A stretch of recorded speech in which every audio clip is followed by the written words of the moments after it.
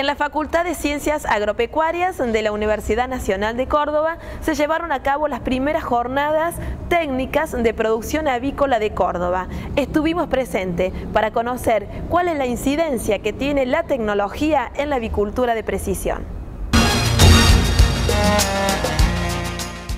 La producción avícola de huevos, que es lo que vamos a charlar ahora, eh, es una actividad industrial ya hace más de 50 años, pero que fue cambiando en los últimos tiempos y fue variando en función de los cambios tecnológicos.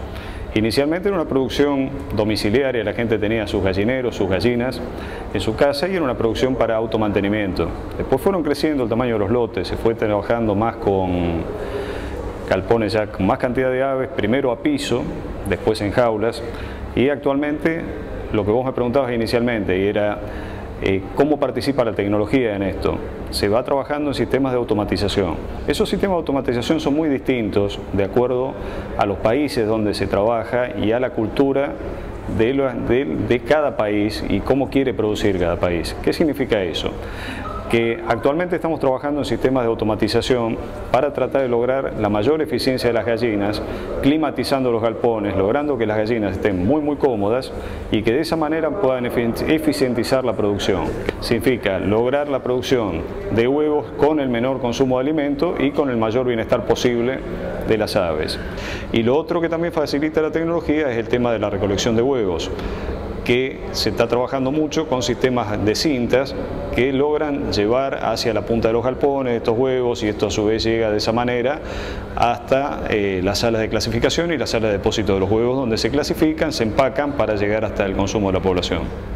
Indudablemente las tecnologías en la producción avícola, principalmente en la producción de pollos parrilleros, eh, influyen en gran, tienen un gran impacto sobre la producción debido a que la implementación de nuevos equipos, de nuevos sistemas, eh, nuevos implementos, desarrollo de nuevas tecnologías a nivel de galpones, eh, logran aumentar la capacidad de carga de los galpones, logra ser más eficiente en el, crecimiento y en el engorde de los pollos parrilleros, en la producción de carne aviar.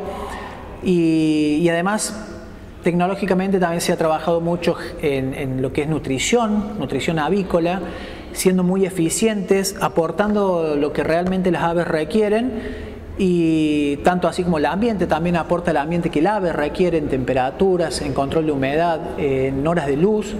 Eso logra que eh, se industrialice una producción animal.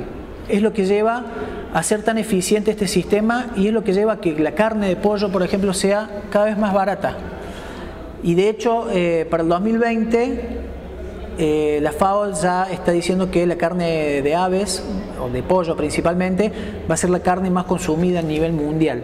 Además la carne de pollo tiene, eh, está muy bien vista a nivel que es una proteína de alto valor biológico, eh, es un alimento con bastante, o sea, muy poca grasa, o sea que es sano, es recomendado.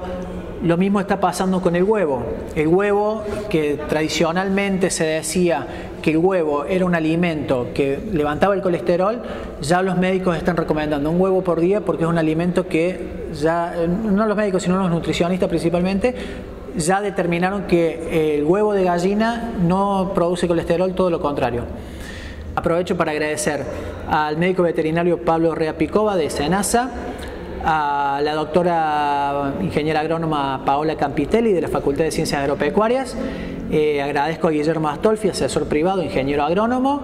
Y bueno, y desde la Facultad de Ciencias Agropecuarias de la Universidad Nacional de Córdoba abrimos la puerta a todo empresario que esté dispuesto a vincularse con un medio público y estamos para trabajar para ellos. Gracias.